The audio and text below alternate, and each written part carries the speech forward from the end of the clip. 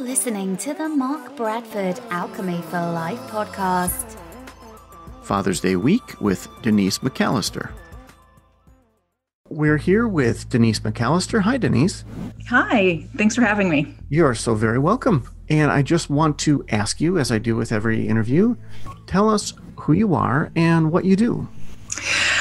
My name is Denise McAllister, and I am an author and cultural commentator. I've worked in political media for many years. I've written for Daily Wire and The Federalist and PJ Media in various conservative outlets. I've been on various television programs as a commentator and radio with NPR and BBC and Fox News and Sean Hannity Radio. So I have a long history of working in, like I said, political media. I'm the author of several books. One is um, a co authored with Dan Bongino called Spygate The Attempted Sabotage of Donald J. Trump. And I have my no- most recent book that's just by me called What Men Want to Say to Women But Can't. So that's mainly my focus now is on, um, with that book, writing anti feminist literature and being pro masculinity at a time when masculinity and men are really under attack. Well, very, very nice. Um, oh, it's far more than an elevator speech. That that was excellent, actually. That was that was very well done. When it comes to your uh, book, the what men want to say to women but can't, um, I guess you're in a very interesting position because you are a woman. So it sort of gives you a bit of different clout to be able to write a book like that. I would assume. Well, what's interesting is in this time of identity politics and um, the height of modern feminism and its kind of power games with men uh, for dominance, for egalitarianism, but w- what really is a superiority mindset uh, that comes out of egalitarianism uh, is that men are silenced. They're told they can't speak. They're accused of being toxic masculinity people, and that they use their power in history against women and their oppressors. So anytime men kind of speak, they're they're discounted in, in a number of ways and a number of issues. Uh, my book isn't about how men can't say these things. Men certainly do, but they're not often not heard. They're discounted because masculinity, let's face it, is being delegitimized in our culture today. And feminism is at the front lines of doing that, of course. And it's being done in different sectors of society from education to politics to science with psychology. Um, we see it on a global scale. So uh, I wanted to write a book about masculinity, why we need masculinity, the pros of masculinity, put in the frame of what men want to say to feminist women in an age that has really denigrated something that we should be valuing greatly and and developing relationships between men and women instead of tearing them down. So my my book is really a goal to encourage men to help men themselves see how we got here and why women think the way they do in this modern age of feminism the faults with that but also speak to women about how they've been influenced and lied to by feminism and how it's made them lose respect for masculinity and to devalue who men are and as God designed them to be in that relationship. That is something you don't see a lot, obviously. and I think that a quick search doesn't come up with a lot of publications writing even an attitude like that. You, you don't see that a lot, I guess. And I think you certainly fill a space that was there. well, you have uh, you you just have the loud cry of feminism, and you have even people on the right who don't agree with the feminism agenda will often appease it or try to make inroads with it and reason with it instead of really standing strong on the core principles that's going on here and it's a a lack of valuing human identity in our sexuality as it's objectively designed as men and women and defending it from a real objective truth foundational view that's uncompromising about who the sexes are and how they interact with each other and the value that each has and an honest look at how what feminism has become and why it's so detrimental to relationships between men and women. And let's just face it we talk about politics a lot but like Andrew Breitbart said, politics is downstream from culture. But what I write in my book is that culture is downstream from relationships, and particularly the relationships between men and women foundationally when that when that relationship is disrupted when that relationship is denigrated and devalued and separated you have a decline in culture you know as well as complete chaos in politics and unless you fix that relationship between men and women, not just in marriage, but in society between the sexes, you're not going to be able to fix what you see in politics, and even the entire culture itself will be in decline. I, I would wholeheartedly agree. I think I, I tend to see that as you're seeing it. I, I kind of see the concentric circle view of things that if, if you don't take care of things in your house, you can't take th- care of things in your neighborhood and then your city and your state and your country and the world. so trying to take care of things in like the eighth circle when your first circle isn't being taken care of, it's just not going to work. So I think that is where it starts. Yeah, and if you're going to have disruption in the most foundational relationship, the starting relationship between men and women in society, you know, to try to build a cohesive society that respects liberty, respect, respects self-identity, you know, not not made self-identity, but the individuality of each person in community with others. You're not if you don't respect that foundational relationship, you're not going to be able to have a, a well functioning society. You're going to have a society that's riddled with power, that groups are warring against other groups, men warring against women for dominance, instead of working together each in our different ways because we're so different, um, but yet so much alike as human beings. And in, until we understand that relationship and understand the unique sexual identities that are men and women as made, then we're simply not going to have that cohesion and you're going to have disruption. And because feminism is so rooted now in that cultural Marxism, that um, critical theory kind of thinking about that society is based on warring factions between the oppressors and the oppressed, between the marginalized and the dominant class, when that's their only frame of reference when it comes to human thriving and human society, all you have is conflict and struggle you don't have love, respect, peace, and an honoring people as they're made. And we see this, especially in attack against men, who are seen as the patriarchal, dominant, historical oppressors who need to be brought down and women need to be elevated. And this is built on a wrong view of history. It's built on a wrong view of society itself and how we interact and how we build a sustaining society. You know, and it's built on a wrong understanding of how women and men are alike and how they're not. Um, one of the problems with feminism is that they think men and women are the same. And when you have that thought, you either make women more like men and fail, or you try to make men more like women and you fail. And I think the first part of modern feminism's efforts to aim for this egalitarian frame is to make women more like men, to put women in men's spheres, to say that women can do everything that men can do, and that men are replaceable by women in every way. And what they found was that the results, the outcomes of that was that women weren't the same as men. They didn't have the same outcomes as men because they're different. So now we have a flip, and we see feminism now today trying to reconstruct masculinity, deconstruct masculinity, reframe masculinity, make men more reflective of feminine feminine ideals and denigrating them whenever they do act like men and guilting them into acting not like men so that women can feel like they're that again they, they've reached this egalitarian sameness by making men more like women. And it's a disaster. It creates conflict and chaos Yes, well said. You mentioned uh, the women sort of moving into the space of men and so forth. And also, everything that you just said, could it not be said that you are celebrating diversity? right? I mean, that's liter- right. That's literally what you're saying. You're doing in this book and, and the and your um, outlook on this. Isn't that correct? Well, that's the irony of mm-hmm. feminism today and, and all the identity politics, whether it's sexuality or race or gender is that it's egalitarian at its core, which erases diversity. But yet they say that they're for all these things in the name of diversity, but they're really not because their aim is not respecting diversity. it's it's wanting equality of outcomes Right. and which is egalitarianism mm-hmm. so that's the measure by by which everything is is looked at it's not looked at are we being the best men and men that we can be? Are we being the best women that we can be? Do we have opportunities as women? Do we have opportunities as men? Which we do in this free society.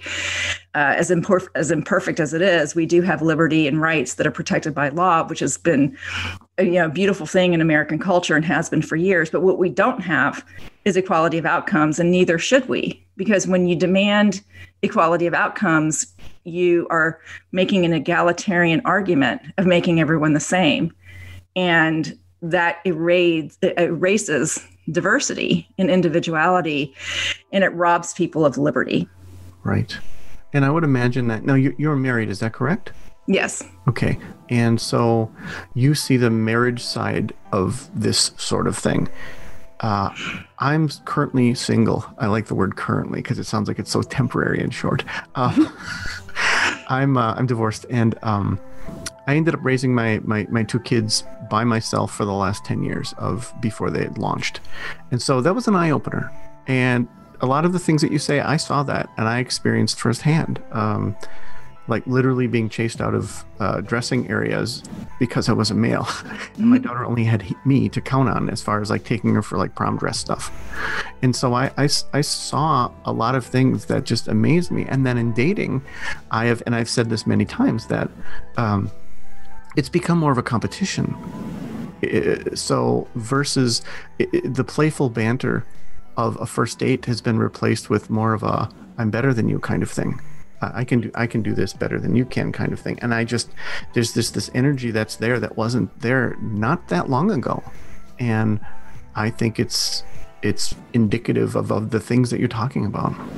Well, it's asserting power and dominance. And and even if you're not aiming for dominance, you're asserting kind of this positioning with the other person um, about what you can do and about you know what positions you hold or about your professional world or your feelings or whatever they are instead of looking at the other person as another human being equal in value to you but who is very very different and who you complement as the opposite sex. Right. and respecting that and understanding that and honoring that. And that's why in my book i really cover i cover how this disruption in this relationship like you described is in the home.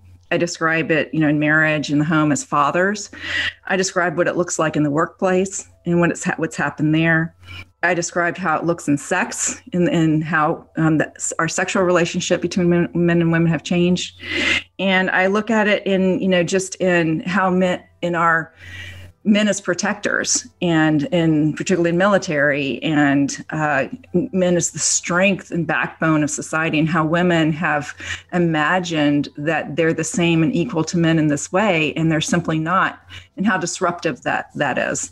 So i look at all those areas and and analyze what feminism has done and how it's created this immature feminine mindset that denigrates masculinity and how it's affected men and and again affected the relationships Yeah, and and and as I said, you're you're right on all that. And as I had said, I see that from the outside looking in uh, when it comes to, to to dating and and just what has changed. I have a good friend who is a uh, matchmaker and dating coach, and we've had a, a, a tremendous amount of discussions about how things have become so much more difficult because of that. And it's just such a refreshing thing to meet a woman who isn't carrying all that stuff on her shoulders. She's just being herself. She's just being a woman. and that's that's it, you know, without trying to attach lots of adjectives that one could be attacked for. I'm just saying she just behaves as a woman and I behave as a man and somehow we just gel. Well and respecting that and, and understanding it you know for, for example in the area of sexuality and sexual relationships understanding that men are not like women. And i think too many women and i'm talking in the marriage relationship because i'm an advocate of course of sex within marriage that in that in that marriage relationship understanding that men process differently and physically as men, you know, as sexual beings. They're not like women. They're very visual. They're very, you know, sensual as in touch and, and feel. And uh, they're they're not they're not like women and they don't need to be acting like men. I mean like women. And that their attraction to the female form and attraction to women is perfectly natural. That's not toxic masculinity. You know, if a man looks at a woman and finds her attractive in the workplace, it doesn't mean that he's an awful person and needs to shut down that part of himself. Now, he shouldn't rape her or sexually harass her. That's not what I'm advocating. But this natural dance between men and women of attraction that's just part of our nature it, you know men have hmm. been guilted in about their own feelings and about their own desires as men for for the feminine. And it's when it's perfectly natural you know and in the sexual relationship they aren't always going to go to the feelings and the relational connection first but that doesn't mean that they're not relationally or feeling connected. You know when they've worked all day long you know, at work, they're tired, you know, and they're, you know, stressed out or whatever. When they come home, they they get rejuvenated and they get connection from the physical. And so if they just want to have sex, it doesn't mean that they have to have this whole litany of buildup of wooing the woman all day and giving her flowers. You know, nothing wrong with all that. But women too often just say, well, if he just comes in and wants to have sex with me, he's being selfish and he shouldn't do that. He should he, he should tend to my feelings and talk to me more and blah, blah, blah, blah. And I'm like, well, no, him him wanting to have sex with you and only you is itself loving and an indicator of his need for you. He's expressing it physically, and you're giving it to him physically because you love him. And after that, and, and, and from that, you become more connected and more joined and, and the relate in the talking and the feeling and all that comes later or sometimes before it doesn't matter but again it's understanding and respecting the differences and not pigeonholing it as something abusive you know, or toxic when it's just men being men and that's right. okay and that's good and it's good in its own right. Right. Stop trying to make men into women. I'm sorry to interrupt you. And, and, right, and keeping in mind that what you're talking about is is is within a certain lane, and there is fringe on either side of what you're talking about. Obviously, there are toxic relationships, and other, obviously sure. there are communication problems in certain relationships, and there are people who are selfish and people who are who are codependent and blah blah blah. All that stuff doesn't need to be said, but it needs to be said so that we understand that the thing you're talking about is sort of not ideal, but you know, an optimal relationship. And when we're talking about that, I, I, I think I've made the observation that if there's an issue in a relationship, it seems like the default is that men want to be physical to show that everything's okay. It's almost their way of saying, look, everything's okay between us because I can do this with you. And women want to make sure everything's okay before they do that. And, right. and, that creates a bit of an impasse sometimes in some relationships. But I think once you recognize that, you can you can get through that. Well, once you recognize, and I do at the preface of my book, I, I say I am not talking about abusive relationships, and that's not my default. I am right. talking about normal relationships between two people who love each other when I'm talking about the sexual aspect. Right. Uh, you know, that's my assumption is you're married, you love this person. Okay. And if you don't, if you're abuse, there's abuse, that's a different issue entirely. And there can be abuse on the side of the woman or on the side of the man in those relationships. But if that's the problem, that needs to be dealt with separately. That's a psychological, emotional issue. That's not a masculinity issue. That's not, you know, a femininity issue. That's it's a relational issue that you need to work out. But in the in the realm of the norm, you know, men, you know, talking about those relationships, if your man needs sex in order to decompress, in order to be connected, because that's how he connects. Give it to him. That's you loving him, and that's him loving you. Now, if he never talked to you ever and he never gave you, the woman, in, in ways that you need, um, then of course that's a problem as well. You know, that's neglect, that's not respect on his part.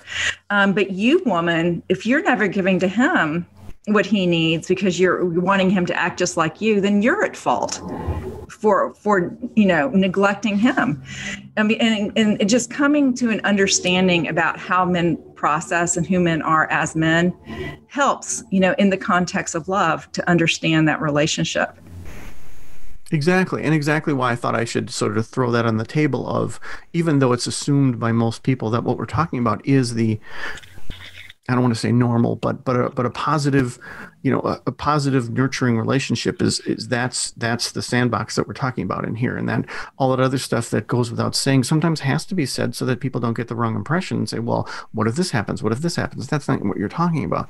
You're talking about a very positive relationship where both people want it to succeed. Well, we don't. We should never have um, talks about the norm by looking to the outliers. you know, that's right. not that's illogical, and it's not how we how we communicate. You know, outliers are outliers. You know, we need to talk about what's the norm, and what's the good, and what's the real, and and um, within the, a good relationship.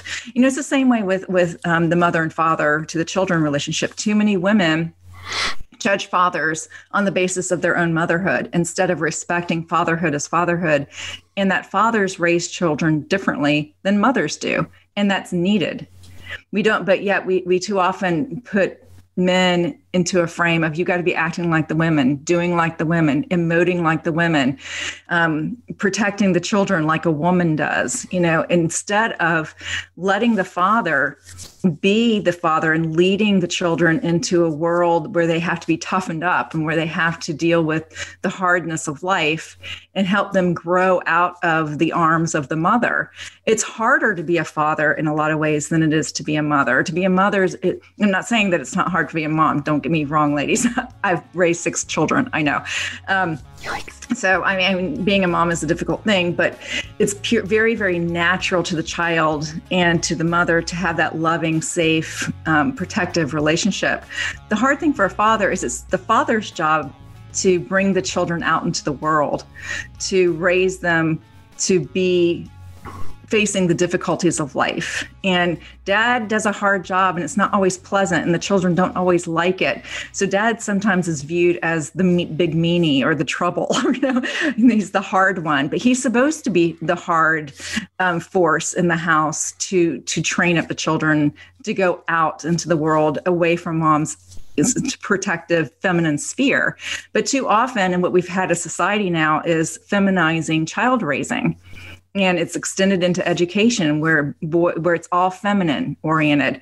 Boys are expected to act like girls. They're kept into the in the nest you know all the way up to the age of 26 within a feminine frame instead of relying on the masculine that really makes strong individuals of both boys and girls coming out to being able to face life um, in a way that that just women don't naturally do. And I'm not saying that women can't raise their children to do that. They also play a role in it. I'm talking about our natural instincts and our natural inclinations of raising children. And I've just seen too often women shut down fathers and relegate fathers away from the children saying that their way is better. I hear it in the church. I hear it everywhere. You know, the women's way, the mom's way. If mama ain't happy, nobody's happy. I really hate that that whole th- mindset. Mm-hmm. It's very feminine focused and it's wrong and it's hurtful to the children. You know, sometimes mama might need to be unhappy because dad stepped in and said this is the way things need to be and he's wise about it and we need to follow his lead.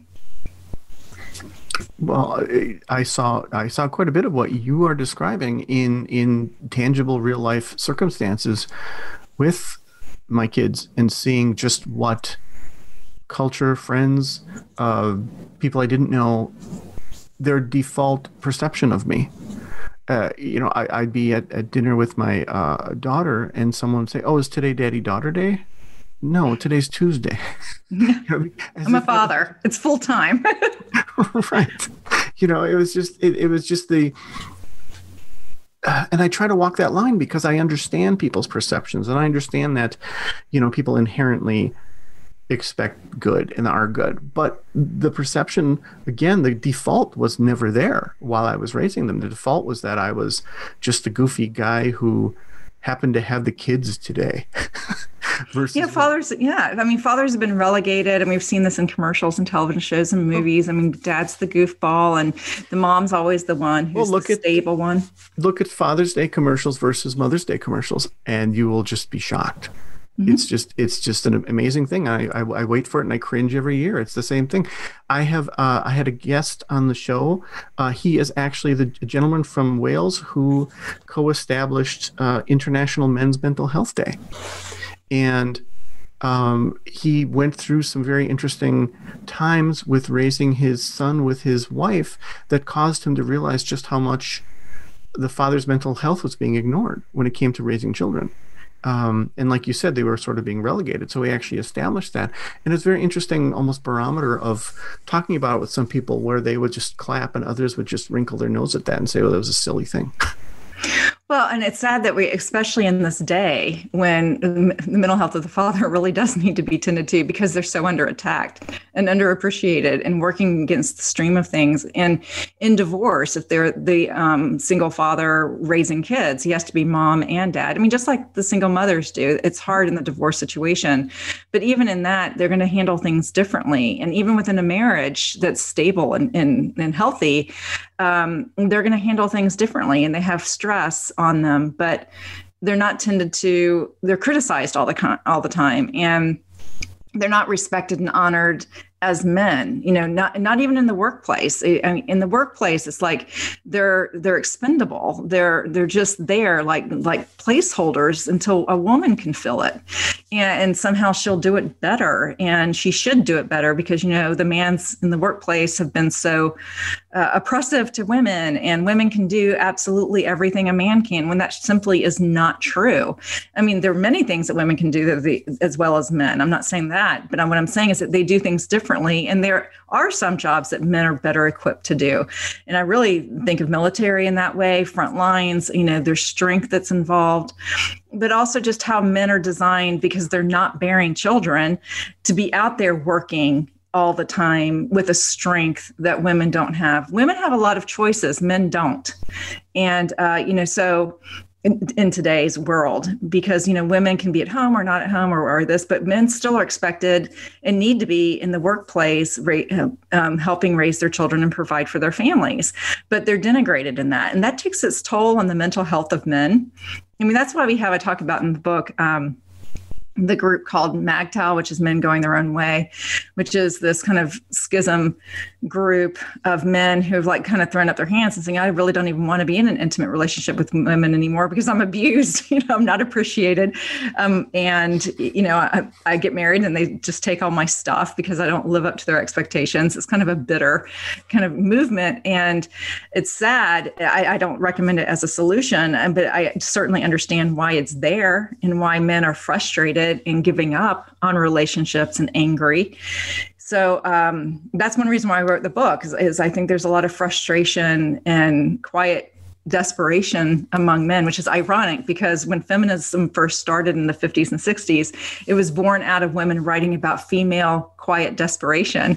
And I think we've had a flip. Now we have you know men in quiet desperation going you know how am i supposed to be a father? How am i supposed to be a lover? How am i supposed to be a provider? How am i supposed to be um, someone who loves and work and wants to really be creative and productive and be honored for that as a man?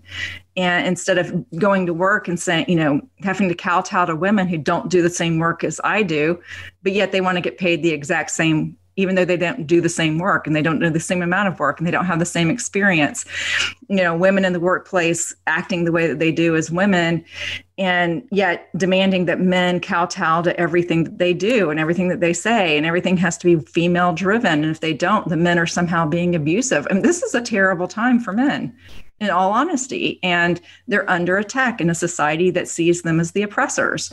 This takes a serious mental toll and physical toll on men. And it, does, it doesn't need to be that way, and it shouldn't be that way. Women should be a support to men, an encouragement to men. Uh, women should be enlivening men to be the best that they can be. You know, I, I talk about the wonders of men, that they're glorious creatures. They're strong and they're creative and they're imaginative and they're uh, you know they're, they're they'll they'll conquer the world for the people they love. I mean, they're truly extraordinary. And you know to denigrate them is is to lose something of ourselves and our own humanity and society. And it grieves me to see it happening.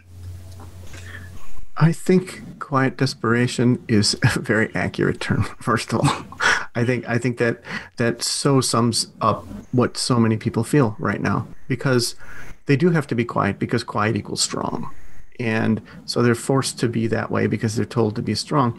I uh, Well, they're also told just not to talk because otherwise they're being toxic males.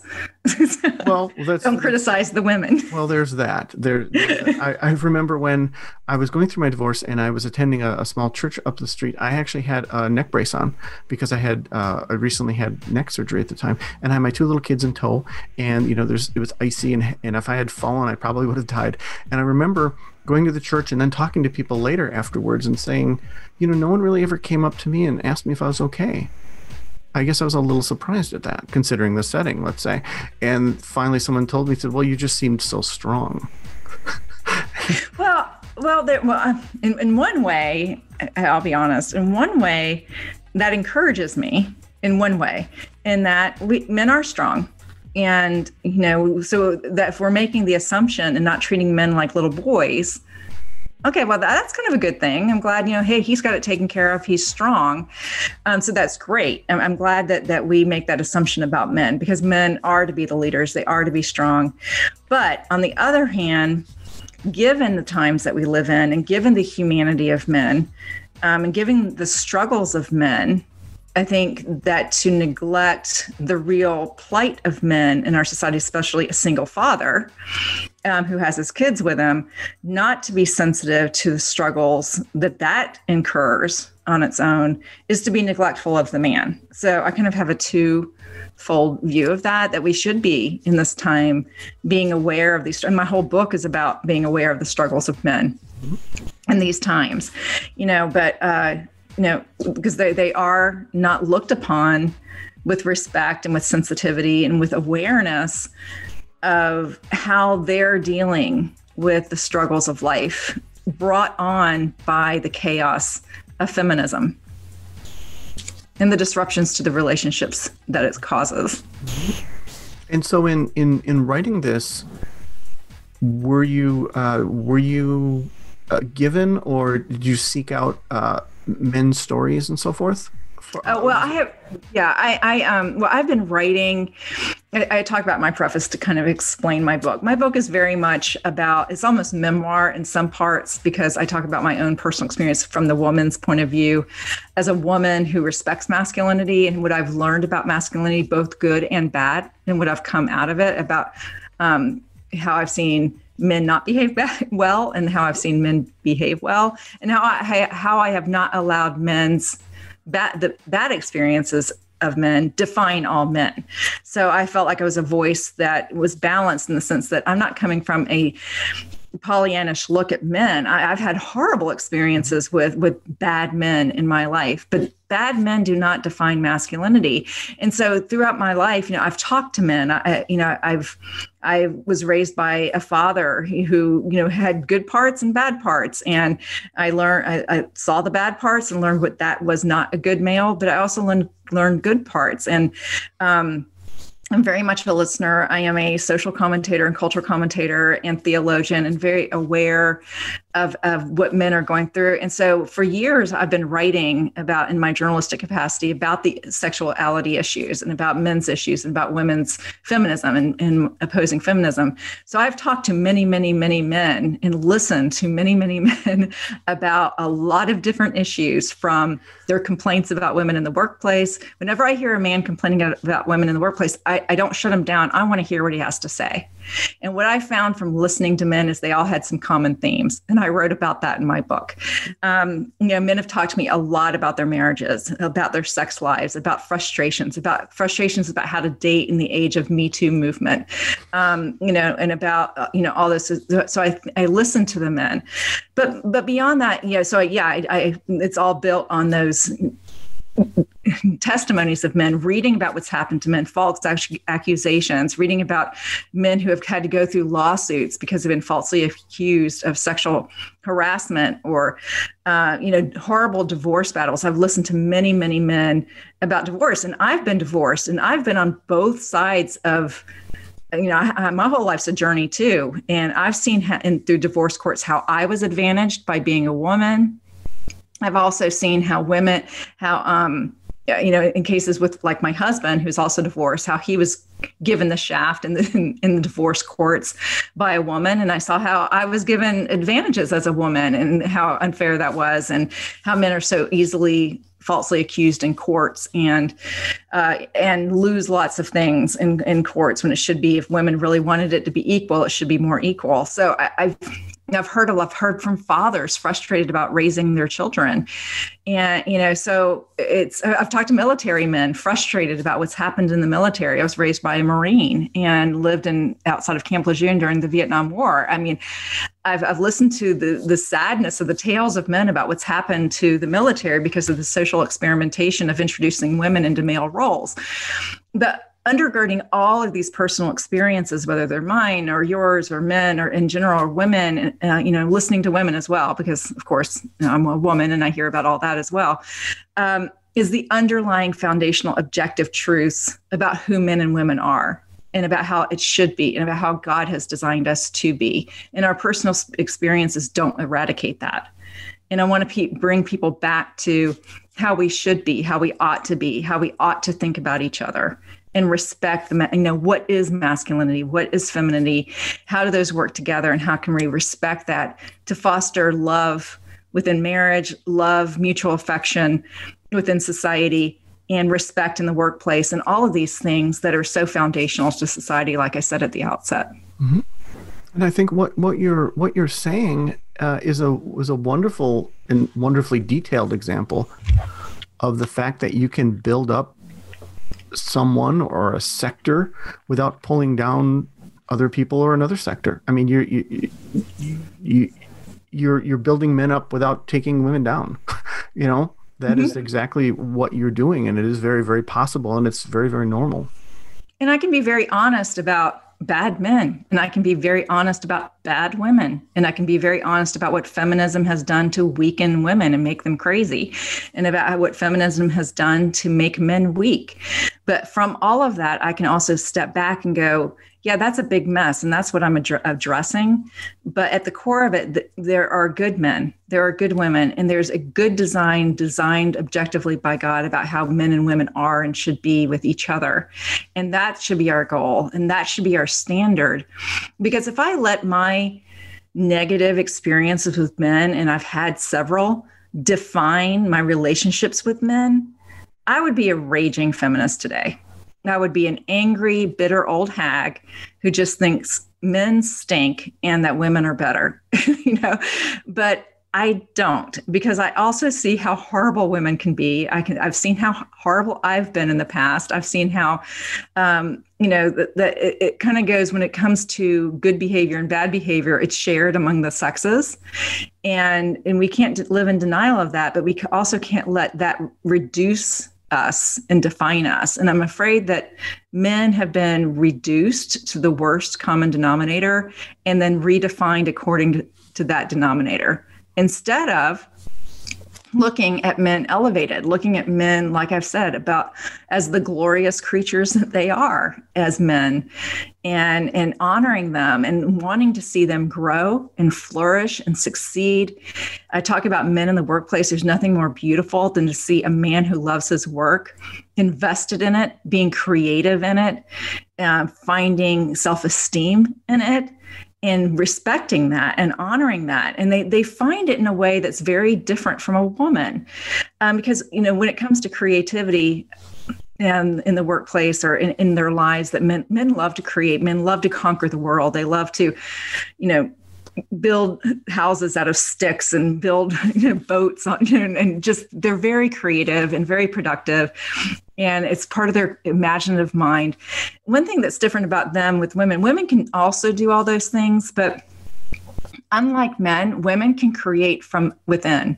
They can create out of their own bodies. They can make children. They're they're creative by their very essence, and that's a glorious thing for women. Even if they're not doing it, even if they aren't mothers, is part of their psyche, and it's something that they can go back to and rest in and find glory in in their very creative way of being.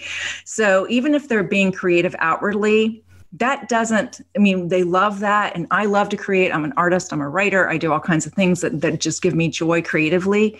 But with men that's all they have men can't create within themselves. And the creative impulses of men are outward oriented. That's why they're the conquerors of the world. They're the, the great artists and the great chefs and the, all these things. It's not just because they've always given been given the opportunities within history. It's it's just really who they are. And it's part of their being as providers and conquerors and and subduers of, of chaos. And it, it, they gain so much uh, self-esteem like i said and so much self-respect and and, glo- and joy um, in doing those things. And we need to honor that and not suppress them and take it away and say oh you're you you worked hard to become that ceo because you're a man and you've oppressed women and you, that needs to be taken away from you because you're a man. And i don't respect anything you did. I don't respect the cities you built or the things that you've conquered, you know, for the good, you know, and I don't respect any of that because you're a man. No, I mean, they've done those things because it's been born out of their own creative self. And we need to honor that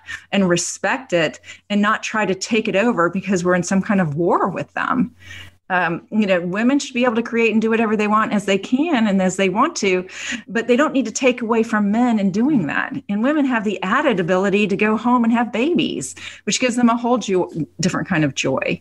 So, uh, you know, I, I just think the denigration of men as men and not appreciating them you know, in all their spheres, them as fathers, they have a whole world to offer um, that women don't see and women don't do, uh, you know, that we need to honor that complements the women, you know, and their sexual drive. I mean, delight that men find desire in women, delight that they love feminine beauty and that they want to capture it and hold it and love it and, and be united with it in body you know, love that. Love that they, you know, find your breast attractive. you know, they think you're beautiful in your form. It's natural. It's fine, and it's glorious. And, and, women secretly don't want it any other way. Why? Why do women dress up the way they do? They want men to look. And so, um, this is the dance uh, of the masculine and the feminine, and we really need to honor it. Mm-hmm.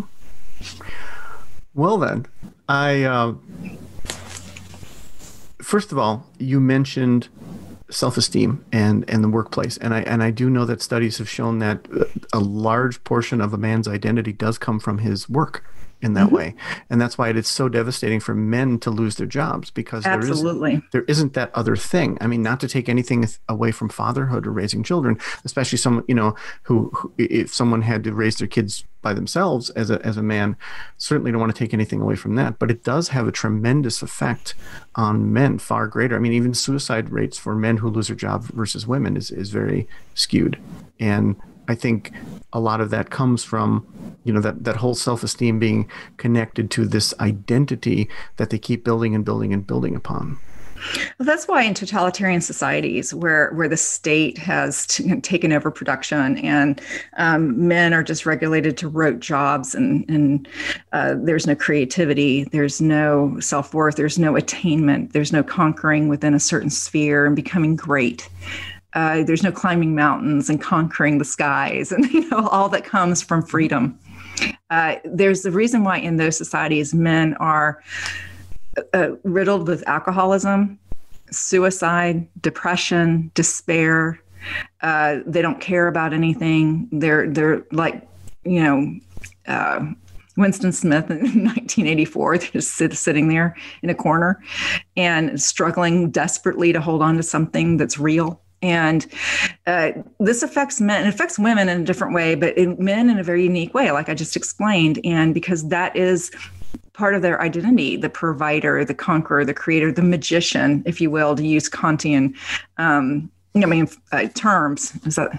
I'm sorry. I'm Jungian, excuse me. I'm thinking of another philosophy, but um, Carl Jung's um, um, archetypes, and you know, to be to be the magician, and which is part of his you know creativity and and all of that. It's very much part of him. And one thing I hate to see in our society is, is that being eroded by the state, by by women. Um, denigrating men in, in, positions of power, not stepping back and thinking, well, these men worked really, really hard to get there. you know, um, sacrificed a lot. They worked hard for their families, for their society. And now you're just saying it's meaningless and that needs to be taken away from them, all in the name of egalitarian equality. And, you know, that that's just cruel and it's wrong and it's dehumanizing to men. And it's on the advance now. And with the Equality Act that's that's been shown, you know, um, being advocated that women get the same as men for outcomes, even though they're very different and producing very differently. Uh, it, it's it's taking away from men in order to give to women, and it's stripping them of their humanity yeah, and it, it's tragic, and I really am very afraid for our society because of what we're doing to men mm-hmm. and what women are doing to themselves. Really, this also has a flip side. Right. another book could be written about what feminism has done to women in particular, and I actually do cover some of that in my book about how women have hurt themselves and not being honest with themselves about who they are as women and what their needs are as women. Women are unhappy too and miserable too because they're not really understanding the glories of their own femininity in its um, relationship with men. So they're either they're either trying to be like men and failing because they can't be, or they're being women and then trying to make men be like women and losing the relationship with a strong masculine male and and being lost you know just isolated yeah, you know, so it's it's very sad what, what's happening to our, our society. It's very personal. I think it's touched every single one of us in some way, mm-hmm. in the workplace, in our singlehood, in our marriage, in sex. You know, um, so it's in our you know raising children. It's affected every single one of us, and it's hurt every single one of us.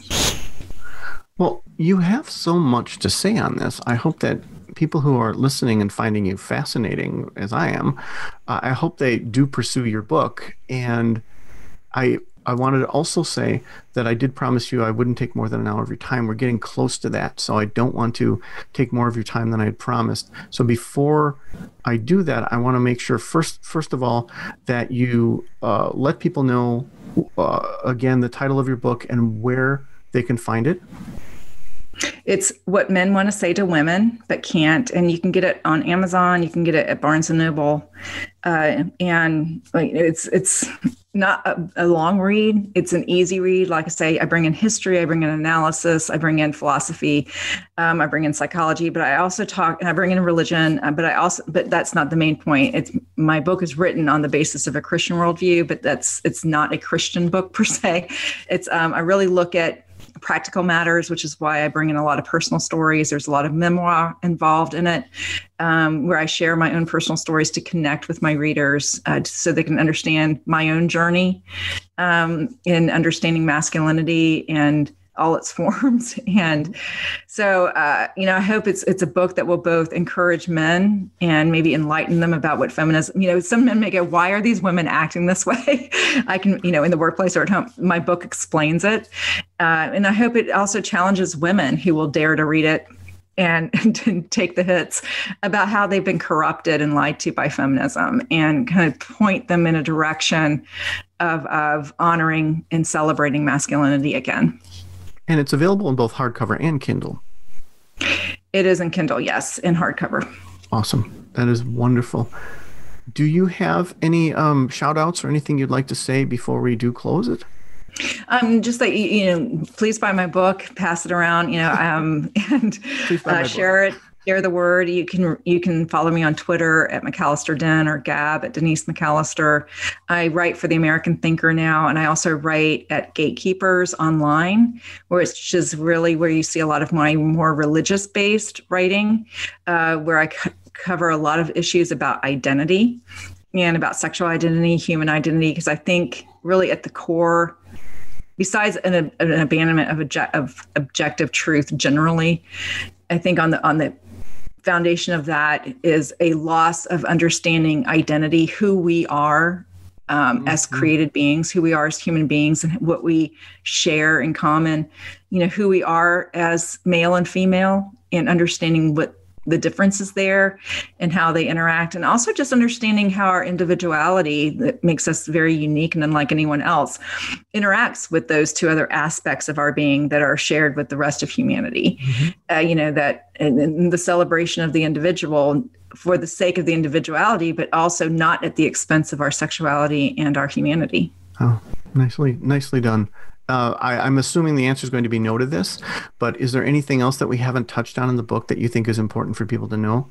well, I think I think we've generally touched on it. I, I really encourage people to think about the different spheres that where men and women interact and how feminism has really weaseled its way into our psyche.